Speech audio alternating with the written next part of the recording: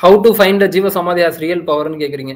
ஜீவ சமாதிக்கு real power இருக்கா அப்படின்றது நீங்க தெரிஞ்சுக்கணும்ன்ற முதல்ல அவசியம் கிடையாது. ஏன்னா ஒரு ஒரு ஜீவ சமாதியும் நீங்க அப்படி ஆராய்ச்சி பண்ணி ஆராய்ச்சி பண்ணி போயிட்டு இருந்தீங்க அப்படின்னா உங்களுக்கு ஆராய்ச்சி மட்டும்தான் இருக்கும். முழுமையாக நீங்க நம்புங்க அது போதும்.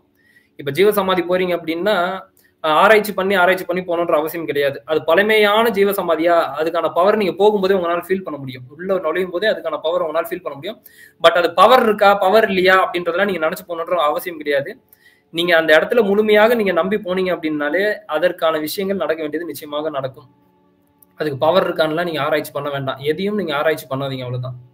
ஏன்னா நீங்க ஆராய்ச்சி அப்படின்னு போனீங்க அப்படின்னா அதுக்குள்ள மட்டும்தான் இருப்பீங்களே தவிர அங்க என்ன இருக்கு அப்படின்றத உங்களால உணர முடியாது. பட் ஜீவ சமாதிகளை நீங்க நுழையும் போதே அதற்கான பவர் என்பது உங்களோட உடம்புல ஈஸியா தெரிஞ்சிடும் காமிச்சிடும் கடன் அதிகம் ஆனால் எப்படி வெளி வருவதுன்னு கேக்குறீங்க? அதாவது இந்த கடன் அப்படின்ற ஒரு விஷயம் எப்படி ஏற்படுது அப்படின்னா இந்த ஜாதக ரீதியா வந்து பாத்தீங்கன்னா புதன் திசை கேது திசை வரும்போது இந்த கடன்ல மாட்டிப்பாங்க. எப்படி மாட்டுவாங்க அப்படின்னா ஒரு வீடு வாங்குறேன் ஒரு நூறு லட்ச ரூபாய்க்கு வீடு வாங்குறேன் அப்படின்னு சொல்லிட்டு கையில வந்து ஒரு பத்து லட்சம் இருபது லட்சம் தான் வச்சிருப்பாங்க. போயிட்டு மீதி ஒரு எண்பது லட்சத்துக்கு கடன் வாங்கி இன்வெஸ்ட் பண்ணுவாங்க. கடைசியில கடனை கட்ட முடியாம முழுப்பாங்க. என்ன காரணம் அப்படின்னா இந்த கிரக நிலைகள் அந்த டைம்ல உங்களை வந்து லாக் பண்ணணும். கடனால உங்களை லாக் பண்ணணும்னு இருக்கும். அந்த டைம்ல உங்களுக்கு எண்ணத்தை தான் கொடுக்கும். அந்த எண்ணம் கொடுக்கும்போது நீங்க என்ன பண்றீங்க அப்படின்னா செயல்படுத்த ஆரம்பிச்சிடுறீங்க. அப்போ நீங்க என்ன பண்ணணும்? இதுக்கப்புறம் கடன் இருக்கிறதுக்கு நான் சொல்றேன். இதற்கப்புறம் நீங்க பார்க்கக்கூடிய அனைவரும் என்ன பண்றீங்க அப்படின்னா ஒரு பெரிய ஒரு விஷயத்தை நீங்க கையில எடுக்கிறதுக்கு முன்னாடி இது நம்மளால சமாளிக்க முடியுமா? இது எப்பயுமே நிரந்தரமா வந்துட்டு இருக்குமா? இப்ப நீங்க ஏதோ ஒரு அமௌண்ட் உங்க கையில வருது அப்படின்னா இந்த அமௌண்ட் எப்பயுமே நம்ம கையில வருமா? இப்ப நீங்க ஒரு பத்து வருஷம் பதினஞ்சு வருஷம் போடுறீங்க என்ன சொல்றது?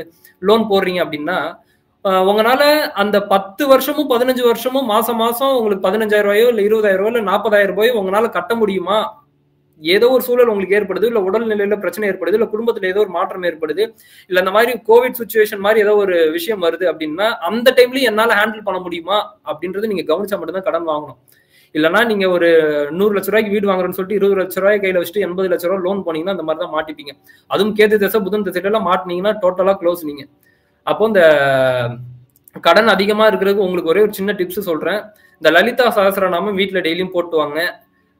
அது காஞ்சி மகா பெரியவர் வந்து கொடுத்துருக்கிறாரு. அதுல வந்து ஒரு பத்து லைன் ஏழு லைன் கிட்ட இருக்கும். அந்த ஏழு லைன் மட்டும் காஞ்சி மகா பெரியவர் அருளிய க- லலிதா சகஸ்ரநாமம் நீங்க கூகுள்ல டைப் பண்ணுங்க. வரும் ஒரு ஏழு லைன் வரும். அது நீங்க டெய்லி வீட்டில் படிச்சுட்டு வாங்க. இன்னொரு விஷயம் என்ன அப்படின்னா அந்த மலர் மருத்துவம்னு ஒரு மருத்துவம் இருக்கு. அதை பத்தி நான் அலைகிரான் மாதம்ல ஒரு இன்டர்வியூவா போடுறேன். அந்த மலர் மருத்துவம் ஒரு டாக்டர் கூட சேர்ந்து நான் ஒரு இன்டர்வியூ பண்றேன். அந்த கடன் பிரச்சனை அதுலயும் போய் தீர்க்கலாம். அது மருத்துவம் மட்டும் கிடையாது. அது எப்படின்னா மன மனதிற்கு கொடுக்கக்கூடிய மருத்துவம் அது. இப்போ கடன் பிரச்சனை அதிகமா இருக்கு அப்படின்னா கடன் பிரச்சனையால உங்க மனம் எவ்வளவு வாடுது அப்படின்றத பா- பார்ப்பாங்க. அதற்கேற்ற மாதிரி சில மலர்களை கொடுப்பாங்க. அந்த மலர்கள் பல விஷயங்களை ஏற்படுத்துது. அப்ப அந்த கடன் அதிகமா இருக்கிறதுக்கு ஒண்ணு லலிதா சாஸ்திரநாமம் நீங்க கேட்டு வாங்க வீட்டுல போட்டு வாங்க படிச்சுட்டு வாங்க. இன்னொரு விஷயம் இந்த மலர் மருத்துவம்னு ஒண்ணு இருக்கு. மலர் மருத்துவத்தை நீங்க கான்டாக்ட் பண்ணி பாருங்க. இந்த கடன் சார்ந்த பிரச்சனைகளுக்கு அவங்களும் தீர்வு தராங்க. அது பெரிய லெவல்ல எல்லாம் காசு கிடையாது.